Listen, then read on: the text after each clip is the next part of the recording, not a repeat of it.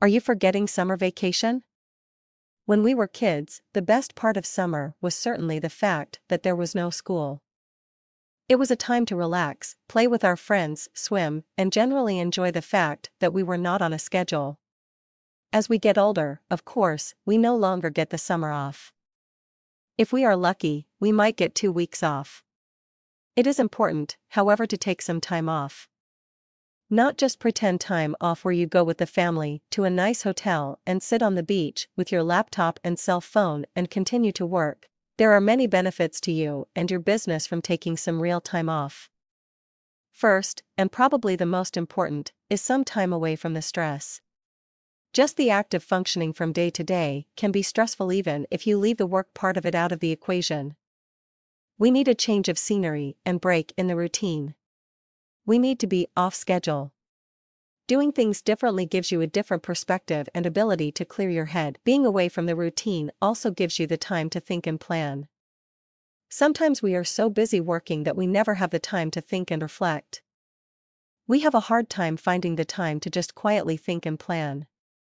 Vacations can give you that needed time, as long as you don't take a vacation that is so scheduled that, once again, you don't have time to think. Planning can be a very important part of your business.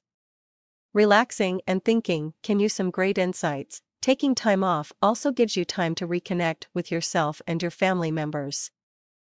When we are working so hard, oftentimes into the evening, we can lose touch with our family and what is going on in their lives.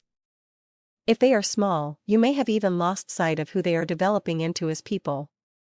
Vacations can be a time to get to know them again and actually have meaningful interactions while having some fun. No pressure, just hanging out. You will be surprised at what you learn in this relaxed environment. Being rested and relaxed with a plan can make you much more effective in your business. You will be better prepared and better able to handle the pressure if you take the time to rest you will be less likely to suffer from burnout. Your downline will seem much smarter. You and your business will both prosper and your family will be a lot happier too.